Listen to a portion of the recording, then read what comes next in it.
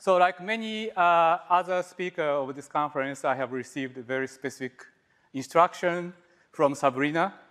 So, uh, so uh, a month ago, I received this email from Sabrina saying that would be honored for you to help chair the closing session as you have at past Strings. Uh, I have given summary talk, but I've never chaired the last session. So I asked her, what does it do mean?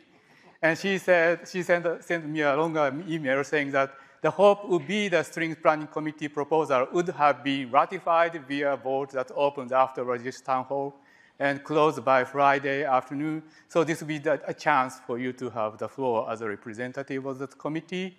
That address will be the main content of the closing session, hence my use of word chair. So that's what I'm going to do. I'll do what my boss says. Since the last time the ad hoc spring commi uh, planning committee had 10 meetings to discuss rule and procedures of the committee, and that's what we proposed uh, yesterday.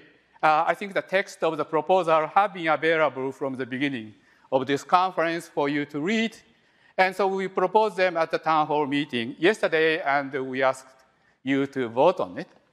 And so now it's time to open the uh, ballot, and so here comes Sabrina the commissioner to announce the outcome. Please uh, open the ballot. Okay. Well, first of all, I guess if you see me running around, I'm having a lot of fun organizing strings. So for future organizers, it is fun. And part of that is also that you get to tell a lot of people what you want them to do and write a lot of emails. and unfortunately, if you're not very precise, it, you'll find that out very quickly. Uh, so it'll come up in various slides, and it'll come up on the slide too. So uh, right now you can see the results of the survey. Uh, the number of people who were registered to attend the conference that all got the invite link to vote, as discussed yesterday, the number of votes that were received, the number of ones that matched to unique registrants, and where that broke, breakdown happened.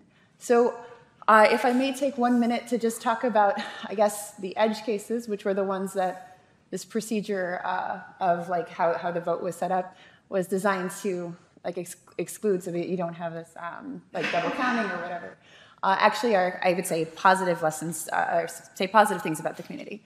So the first thing is I want to commend an anonymous comment. Uh, the way that the form was set up was basically that you could put anything for like your name. Uh, and so the fact that it wasn't fully anonymous in the sense that I'm the anonymizer is a red flag, and I absolutely agree.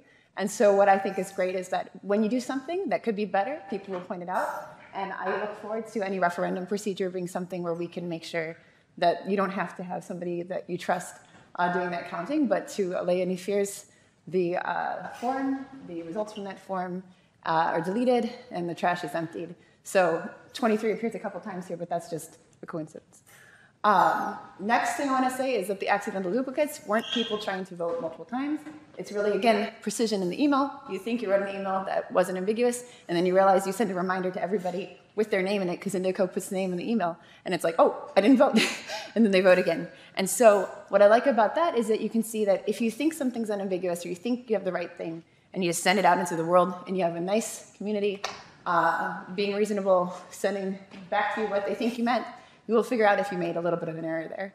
And so this is where I'm very much looking forward to the evolution of this committee that obviously has, has won the votes to, to exist now, uh, being something where we can actively be taking feedback from people and uh, trusting that they're not trying to game the system, they're really trying to help us. So without further ado, I'd like to hand it over to Hiroshi. Thank you very much, Commissioner Sabrina.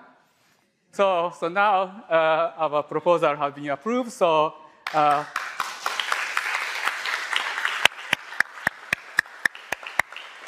So now we can move forward. So this is what uh, you guys approved, and I'm not going to read that.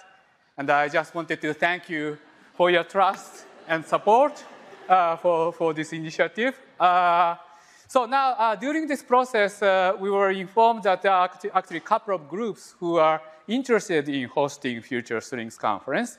So, but now that we have this process, we have invited them to submit the formal written uh, proposal based on these requirements that uh, we have outlined in these rules and procedures.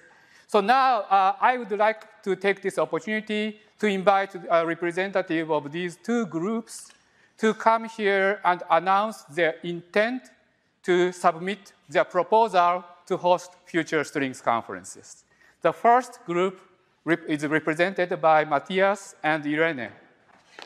Okay, so so we intend to submit a proposal to host uh, Strings 2024 at CERN, and uh, obviously we had started to the process, although we've sort of not completed it, waiting for approval.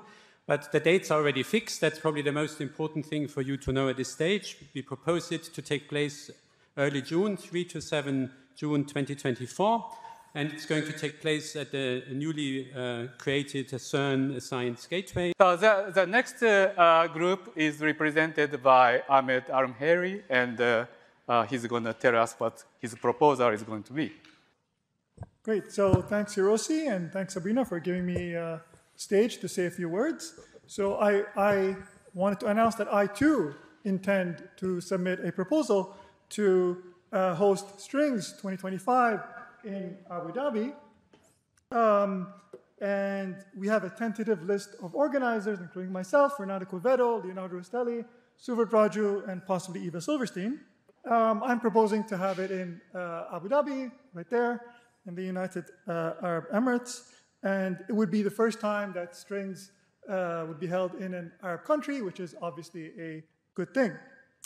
It's a federation of seven emirates, or you can think of, it, uh, think of them as states. Population is roughly 10 million. Uh, it's the home of uh, to more than 100 nationalities, and we get of order the population number of tourists every single year. Here's a picture of Abu Dhabi.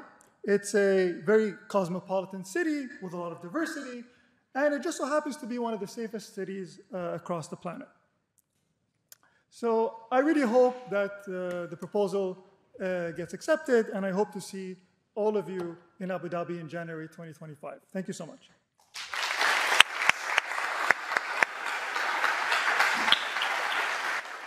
So the last thing uh, I'd like to do is probably the most important thing, which is to thank the organizers. Uh, so in particular, I'd like to thank Sabrina for putting lots of wonderful ideas and discipline and uh, uh, infinite amount of energy to make this conference really uh, both inspiring and enjoyable to all of us.